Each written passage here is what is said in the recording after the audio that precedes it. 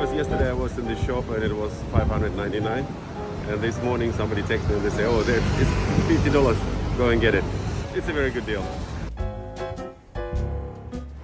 我見到平天過嚟嘅，冇買開嘅平田，不過見